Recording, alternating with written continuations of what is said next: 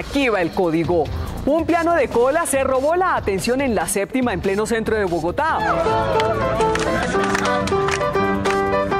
Sobre un tapete rojo fue instalado este bellísimo piano por el alcalde Peñalosa como parte del plan de recuperación de la carrera séptima.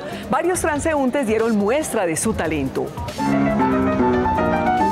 La ex senadora Piedad Córdoba se tomó con humor el resultado de la última encuesta Gallup que la pone en un pico altísimo de desfavorabilidad de 66 puntos. Miren lo que dijo en su cuenta de Twitter. Si yo me paro en mi imagen negativa y me aviento, me mato. Hoy se despidió de su cargo la directora del Departamento de Sostenibilidad Social, Tatiana Orozco, y les tengo las razones. Primero quiere volver al sector privado y segundo su corazón tiene dueño. Está ennoviadísima con un argentino que la deleita con sus platos. Es un reconocido chef. El director del Invías, Carlos García, visitó el Quindío para evaluar las eternas obras del túnel de la línea. Y escuchen lo que dijo cuando nuestro corresponsal le preguntó por la nueva licitación para esta importante obra. Todas las empresas extranjeras que están habilitadas en el país, menos Odebrecht. Ojo, hay muchas Odebrecht camufladas por ahí. Y el expresidente Álvaro Uribe no pierde su tiempo. A su casa de Río Negro en sus días de recuperación han llegado delegaciones de todos los partidos. La semana pasada estuvo el expresidente Pastrana.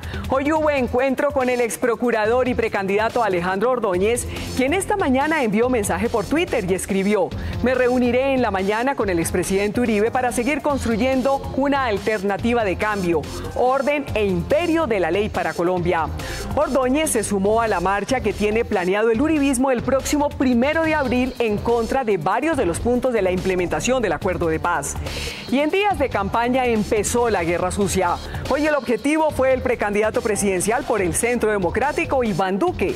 Esta imagen que dice yo no creo en los Iván, donde aparecen el senador uribista junto a Iván Cepeda e Iván Márquez, circula por las redes sociales. El expresidente Uribe publicó la y la calificó de infame. Y Arnold Schwarzenegger no va más. Tras los constantes enfrentamientos verbales con el presidente Donald Trump, el famoso actor anunció que su contrato queda Terminator y no presentará la próxima temporada del reality El aprendiz creado por Trump. Y todo por las críticas de Trump por el bajo rating y su floja participación. Y el recomendado de código, el documental La señorita María, la falda de la montaña, dirigido por Rubén Mendoza, que se estrena en la edición número 57 del Festival Internacional de Cine de Cartagena. Esta película compite en dos de las categorías de este festival, cine colombiano y documental. Hasta aquí el código Caracol.